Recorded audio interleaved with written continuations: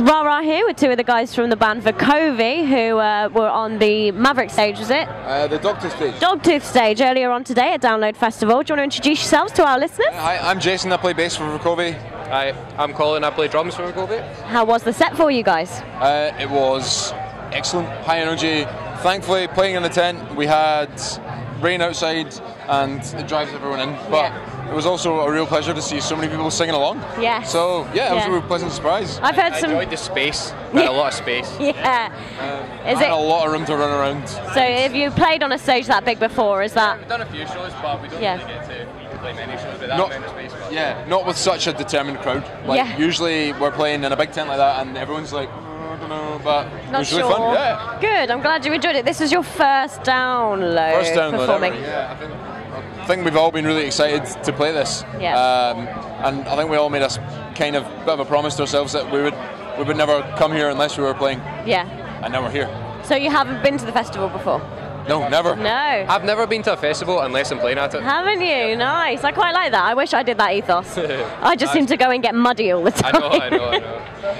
Have you managed to catch any other bands this weekend so far, or? Yeah, First we band we caught was Babymetal. Oh, and yeah. it was amazing. was leave, leave Glasgow as early as we can so we can catch Babymetal. And Yeah. we got there just as they started playing and just Fair as the heavens opened. Yeah. And it was uh, it was wet, but it was an experience. Was I really, bet, really fun. yeah. I, I was in here watching it and just the crowd looked Ah, insane for it. brilliant, Yeah. I've heard some really good things about your, your live performances and everything. It's quite a high energy performance. I don't know where from, but God knows. Somebody said they saw you in Norwich or something, and they said it was such a, a performance. What is it that, that gives you that sort of drive to, to perform like that? Why is it? Because there's some bands they just sort of, I don't know, man. Like, I don't know. we're just kind of feed off each other. Yeah. Just kind of feed off each other, and I we kind of feed off Janine as well because Janine's really, really Yeah. energetic. Yeah. And she feeds off the crowd, and it's just like an endless feed.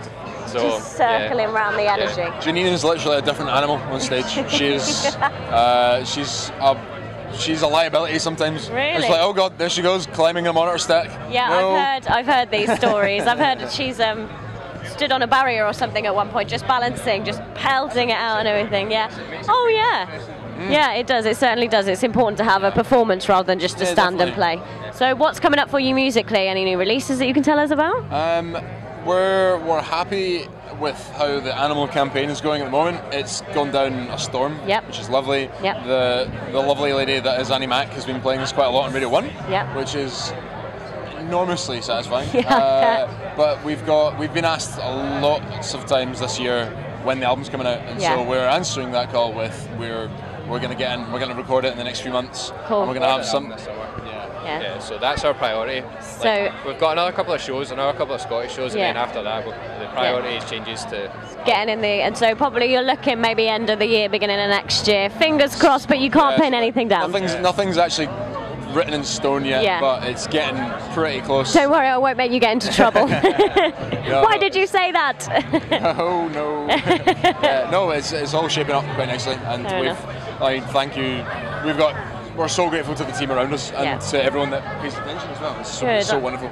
It's really nice to Yeah. see, you know, a band coming through it in the, the good way rather than the, the X Factor way or Oh, anything like yeah.